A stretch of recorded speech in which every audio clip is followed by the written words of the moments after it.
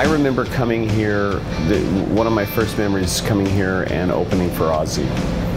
And uh, as cliche as it is, seeing the, the arch, I just never forget seeing that for the first time. I was just like, you know, a kid from Idaho that migrated to Los Angeles who somehow was a support act for on this big tour, and it was just each city. I was like, I remember certain things. You know, the first time, you know, coming here to St. Louis, first time going into New York City, the first time, you know, landing in London, the first time in Japan. These, these first time they, they burn into your memory. It's like really good times.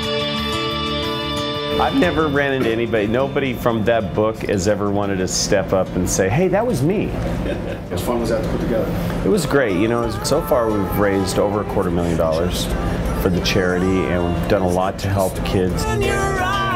Radio is the one that you know made this happen. It picked this, picked it, and ran with it when it was just a soundtrack to a book. And I, when I say just, I mean it wasn't supposed to be a band. It wasn't supposed to be a touring band. It wasn't supposed to be a band that you know people are so attached to the music. It was more about the book and the music was organic and the artists that made the music are friends and so becoming a band was a way to help radio play the song which in, in helped the book which helped the charity so it never was supposed to be what it is and the fact that it is feels really good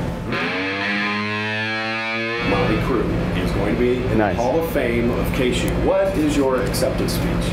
No Rock and Roll Hall of Fame, but no rock and roll hall of fame uh, how about just yes cool is that Yes, uh, that, that's great. I mean, it's a great city.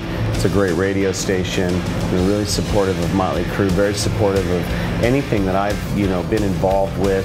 And um, you know, there's a lot of heart here, and to be inducted into something is just you know really heartwarming. And, and thank you.